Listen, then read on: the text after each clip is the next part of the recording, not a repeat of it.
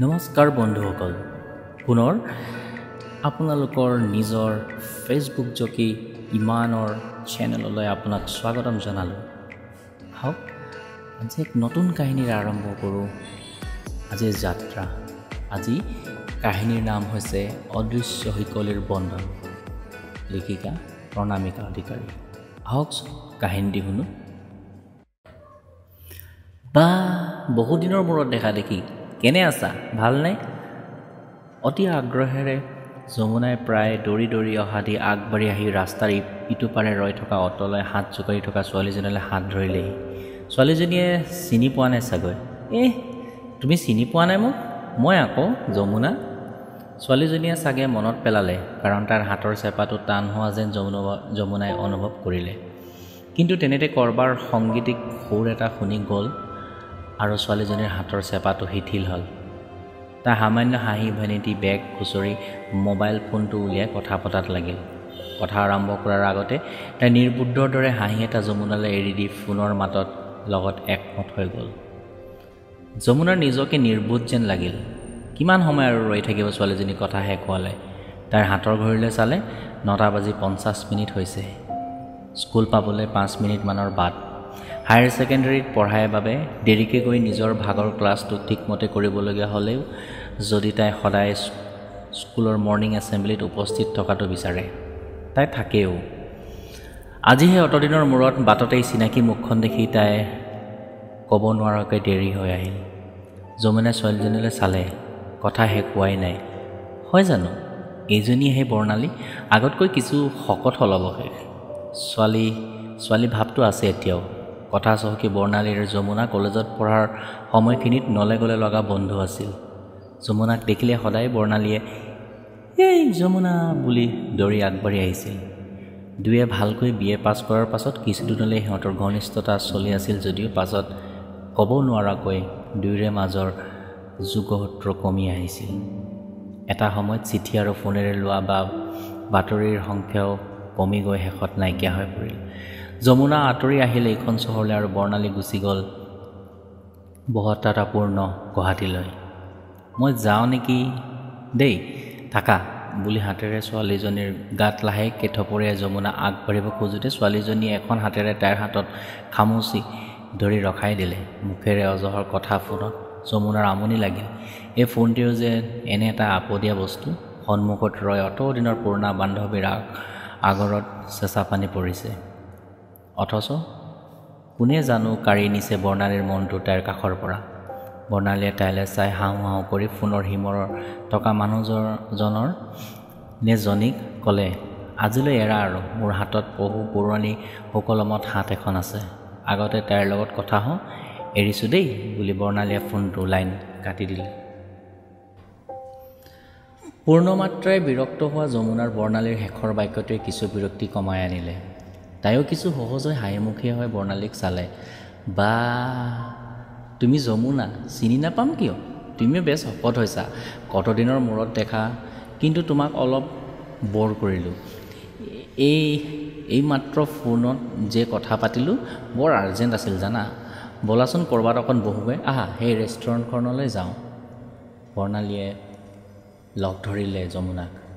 নাই নাই আজি নালাগে। অন্য এদিন। মোৰ দেৰি হ'ব। যমুনাই উত্তৰ দিলে। দেৰি হ'ব? কিয়? তুমি ক'ৰবাত চাকৰি কৰা নেকি? পুনৰ বৰ্ণালীয়ে প্ৰশ্ন কৰিলে। অঁ তুমি নাজানা নহয় মই কস্তুৰবা বালিকা বিদ্যালয়ৰ বিষয় শিক্ষয়িত্ৰী। সাত বছৰমানে হ'ল। তুমি?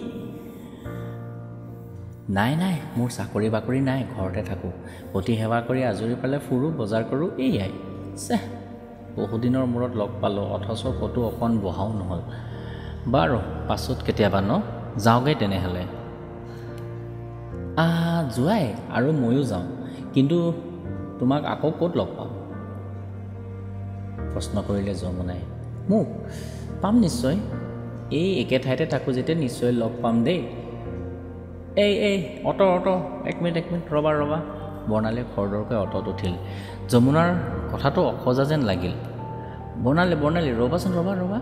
মোতকৈ এতিয়া দেখোন তোমাৰহে ল'ৰালৰি তোমাৰ ফোন নাম্বাৰটো ফোন নম্বৰ খুজি যমুনাই ক'লে। অঁ ফোন নম্বৰটো পাছত বুজিছা আজি ময়ো এঠাইলৈ লৰালৰিকৈ যাব লাগে। মই নহ'লে তোমাৰ স্কুললৈকে আহি লগ ধৰিম। যাওঁ দেই বাই। অট'খন গুচি গ'ল। খৰখেদাকৈ যমুনাও যাব লাগিছিল যোৱা নহ'ল। ঠাইত ৰৈ তাই অট'খন যোৱা ফালে চাই থাকিল। বৰ্ণালী কিয় গুচি গ'ল? তাইৰতো ক'তো লৰালৰিকৈ যোৱাৰ কথা নাছিল। তাই দেখোন মোৰে সৈতে বহিবলৈ মোক ৰেষ্টুৰেণ্টখনলৈ মাতিছিল। হঠাতে তাই গুচি গ'ল কিয়? তাই মানসিকভাৱে অস্থিৰ হৈ আছে নেকি? ক'তা? দেখাততো তাই বেছ শান্ত উচ্চল আৰু হাঁহিমুখেই আছে। ফোন নম্বৰটাও নিদিলে। যমুনা খোজ আগবাঢ়িল। খোজকাঢ়ি যাতে তাই কলেজৰ বৰ্ণালীৰ সৈতে কটোৱা সময়বোৰলৈ মনত পেলালে। সাংঘাতিক ধৰণে আৱেগিক আৰু ৰোমান্টিক মনৰ আছিল তাই। তাৰ বাবে প্ৰেমে জীয়াই থকাৰ মূল কথা আন্তৰিক আৰু সহযোগিতাপূৰ্ণ প্ৰেম নহ'লে সংসাৰ নীতিকে এই বুজিছা মই যেতিয়া বিয়া কৰাম মানুহজনক লৈ ইমান মৰম কৰিম তেওঁ যে কয় তাকেই কৰিম আৰু তেওঁ বিচৰা ধৰণে মই সকলো দিম। তুমি দিবা আৰু তোমাক তোমাক যদি গুৰ দিয়ে এই ধৰা তুমি তেওঁক বৰ মৰম লাগি চুমা এটা খালা আৰু তেওঁ যদি তোমাক কিয় চুমা খাবা বুলি চৰ এটা মাৰে দেই। কি যে অক্ষ অক্ষভ্য তুমি। তেনেকৈ মোৰ সপোন ভাঙি নিদিবা। আৰু জানা মৰম কৰিলে বন্য জন্তুৱে পোহনীয়া হয়। এই যমুনা তুমি সঁচাকৈ কোৱাচোন যাৰ লগত মোৰ বিয়া হ'ব তেওঁ আৰু মোক পৃথিৱীত আটাইবোৰ আলফুলীয়া মৰম দিবনে? খুব মৰম কৰিবনে অঁ? সৰু ছোৱালীক কৰাৰ দৰে মৰম। বন্ধুতৰ দৰে মিত্ৰতা বন্ধুত্বৰ দৰে মিত্ৰতা আৰু বাপেকৰ দৰে শাসন। আৰু পতিৰ দৰে পতিগিৰি। কৈ যমুনাই তাইৰ কোলাত মূৰ থৈ কোনোবা অনামী প্ৰতিদেৱৰ সপোন দেখি থকা বৰ্ণালীৰ চুলিকোচা ঘটালি হাঁহি উঠিছিল। বৰ্ণালীয়ে তাইলৈ ঘপককৈ চাই কালৈ ক্লাদো হৈছিল। সিহঁত দুয়োৰে মাজৰ পাৰ্থক্য আছিল এনেকৈ বৰ্ণালীয়ে বাস্তৱৰ কঠোৰতা দেখিও যেন নেদেখা হয় সদায় সপোনৰ কৰে কাৰেং সাজি থাকে। আৰু যমুনাই সদায় কল্পনাৰ ৰাজত্ব বাস্তৱৰ কঠোৰতাক দেখা পায়। অৱশ্যে তাই বৰ্ণালীৰ বন্ধুত্বৰ পূৰ্ণ সঁহাৰি দিছিল। বেচাৰী বৰ্ণালীজনীয়ে কেৱল মৰম ভালপোৱা জীৱন অৰ্থ বুলি কোনো হৃদয়মান মৰমীয়াল ৰাজকুমাৰৰ সপোন দেখি আহিছে। ভগৱানে যেন দয়ালু হৈ তাৰ সপোন ফলিয়ায়। তাই যেন পৃথিৱীৰ সহমত ভালপোৱাৰ প্ৰেমৰ গৰাকী হয়। যমুনাই বৰ্ণালীৰ ক্লাদু ক্লাদু মুখখন দুয়ো হাতে তুলি ধৰি গহীন হৈ কৈছিল ধেমালি কৰিছোঁ অ' বৰ্ণা। কোনে বাৰু নিবিচাৰে? তুমি ভবাৰ মৰমীয়াল পতিৰ কুণ্ঠক প্ৰেম? মই ভগৱানৰ ওচৰত মিনতি কৰিছোঁ। তেওঁ যেন তোমাৰ বুকু ভৰাই প্ৰেম দিয়ে। তেনে প্ৰেমৰ দিব পৰা এজন পুৰুষ দিয়ে। প্ৰায় দুমাহ পাৰ হৈ গ'ল। এইকেইটা দিন যমুনাই অনবৰতে কেৱল বৰ্ণালীক দেখিলে। স্কুললৈ ওলাই আহিয়ে বৰ্ণালী সন্ধানত তাইৰ চকু পিটপিটিয়াকৈ ফুৰে অগণন জনতাৰ মাজত। স্কুলত থকাৰ সময়খিনিতো তাই আশা পালি থাকে বৰ্ণালী আহিব বুলি। তাইতো আহিম বুলিয়ে কৈছিল। ঠিকনাও নাজানো। ফোন নম্বৰো নাপালোঁ। ক'ত বা থাকে তাইৰো নিজকে লুকুৱাই ৰাখিছিল নেকি?